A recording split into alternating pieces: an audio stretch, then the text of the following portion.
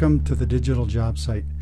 This tutorial is going to go into this Tuscan order that you see here in the schematic. And recent interest in this, the principles that are involved with this Tuscan order for proportioning millwork, dimensions, and heights. Uh, that prompted me to put SketchUp to work to help calculate all the various dimensions and proportions that are involved in this type of design arrangement. By zooming in on this drawing, which is just a 2D drawing, it shows how various sections of this Tuscan order, uh, the base, the shaft, the capital, etc., are all based on on D, which is the diameter of the column. And that column diameter is uh, the base of the column and all these other things are proportional to that base dimension. But most residential millwork these days doesn't involve columns. Uh, it involves a wall or a ceiling height, which would be the total height of this assembly.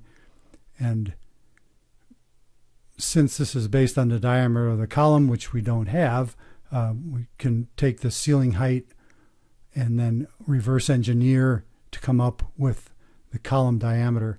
And that's what I used SketchUp to do. And if we bring this default tray up here, um, the way I went about this was to create something I just called scale bars. And what the scale bars are, are nothing more than a digital model, a SketchUp model of these various divisions and segments here uh, the base, the shaft, the capital, the architrave, the frieze, cornice, and so on.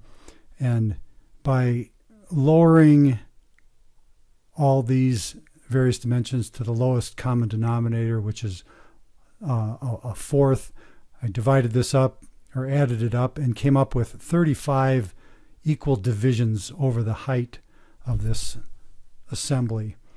And so I started out just basing this on an eight foot tall wall, which is pretty common uh, to build these scale bars. And then if you're familiar with the divide tool or the divide feature of SketchUp, I'll show how this works. I'm just going to draw a line up here 96 inches. And then by right clicking on this line and then hitting the right mouse button, I can choose divide. And as you can see here, as I slide the mouse down, the number of segments changes and I want to get 35 of those segments. Like I said, there's 35 fourths involved. So if I don't get lucky and land on 35, I can just type 35, enter, and it'll divide that line in 35 equal pieces. And you can see if I take two of those pieces, one, two, move and copy, they equal the height of this base, which is one half of D or two fourths of D. By taking four of them, I came up with the dimension D, which would be the diameter of the column. So that's how I built these scale bars to basically digitize this 2D drawing and make it adaptable for different wall heights because that's the most likely variable in residential construction. So once these scale bars were created, I have all the necessary dimensions for modeling. With the scale bars made, I can proceed to model the various features shown in this Tuscan order, the, the base, the column, etc.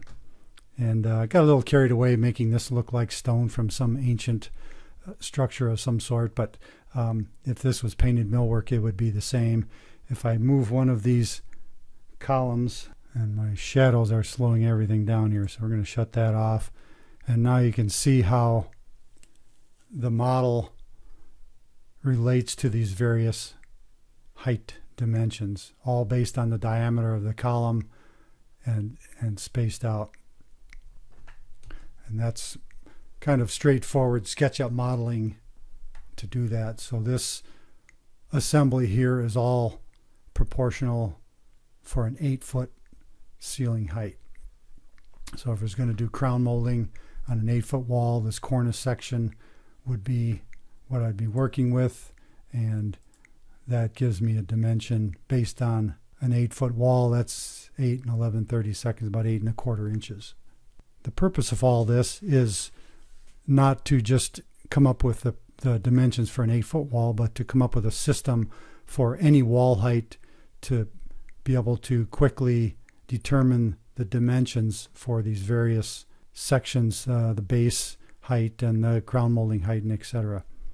So I'm going to do a little bit of modeling work here to reconfigure these scale bars and then I'll pick up the video again.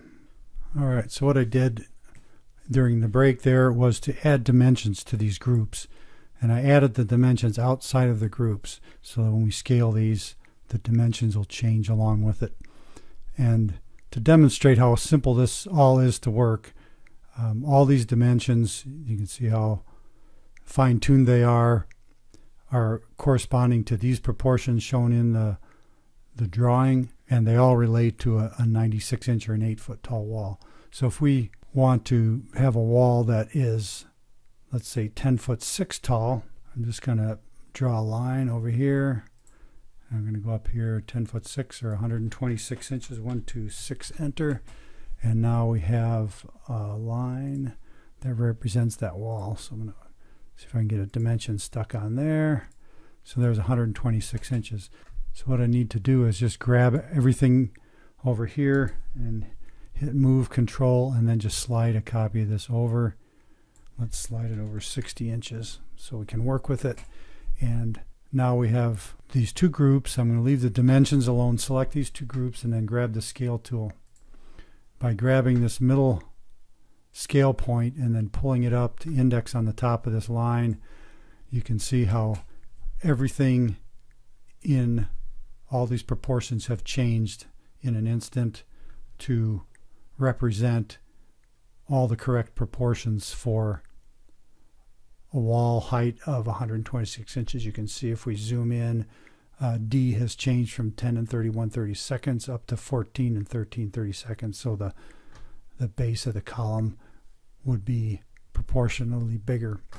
And I stacked these horizontal dimensions vertically like this so that they would scale at the same rate as everything else. So with those steps, I hope this makes sense on how SketchUp can be used to do all the math for this. I'm sure it could be done with a spreadsheet or something to generate these numbers based on the proportions outlined in a drawing. But this is a pretty straightforward way to get those things done.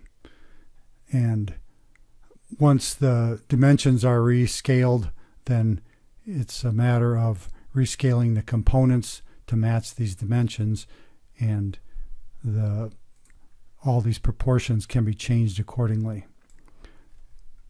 So that you can make a structure like this. You can go to any size by doing the math and going through those steps, which is a whole lot easier than busting out a calculator and doing this the longhand way. So I hope that was informative and thanks for watching.